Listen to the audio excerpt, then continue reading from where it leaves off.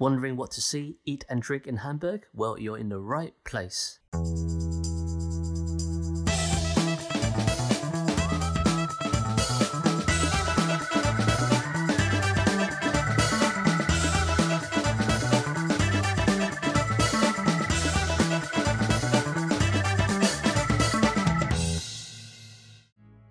Hamburg is the biggest city in Germany. Its history is intertwined with the water and the port that has helped make the city what it is today.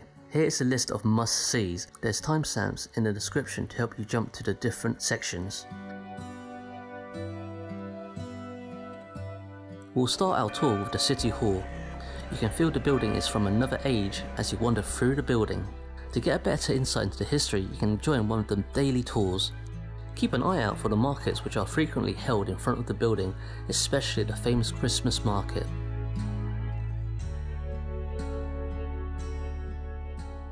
The Speicherstadt or warehouse building is the world's largest warehouse district. The buildings are from another time and gets recognised as such. It was awarded the status of UNESCO World Heritage Site in 2015.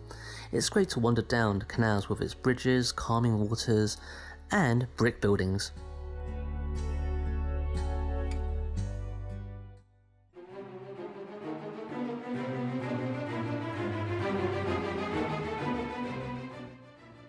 One of the best ways to enjoy a city so influenced by the water is underwater. You have loads of options to book a ferry tour. An insider tip and more economical option is the public transport ferry number 62, which leaves from platform 3.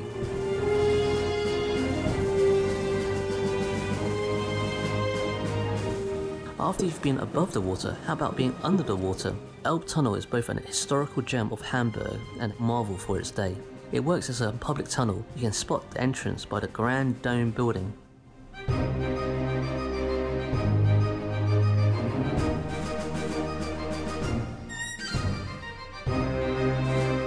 To finish off the water theme, we end with a visit to a submarine. Yes, an actual submarine. Though not in operation I might add. The U-boat museum is actually a Russian submarine which was built in the 1970s. If you love your historical war machines then this is a must. You can admire the inner workings, the conditions the sailors lived in, the cool cogs and dials, along with some fun crawling around.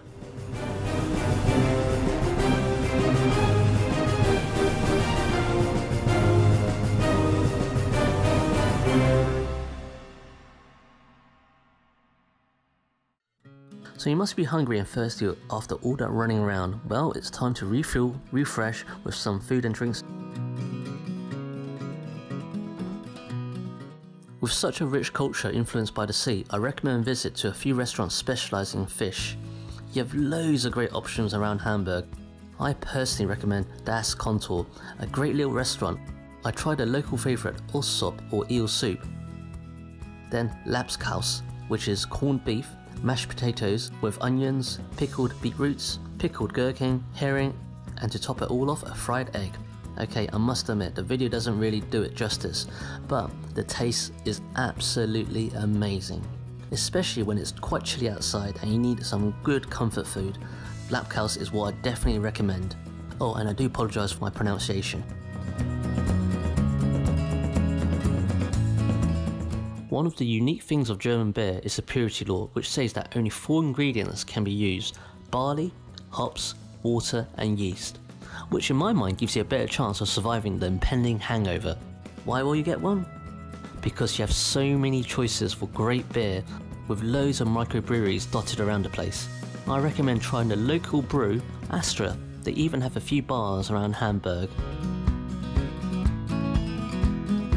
And now, suitably refreshed, time for some music related must sees.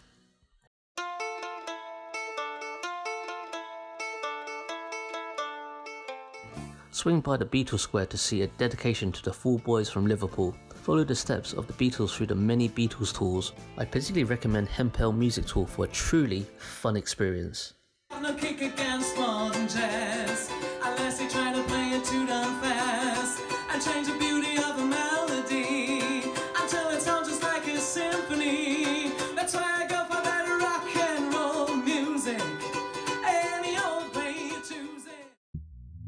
And still on the music theme, why not see one of the world's most acoustically advanced concert halls?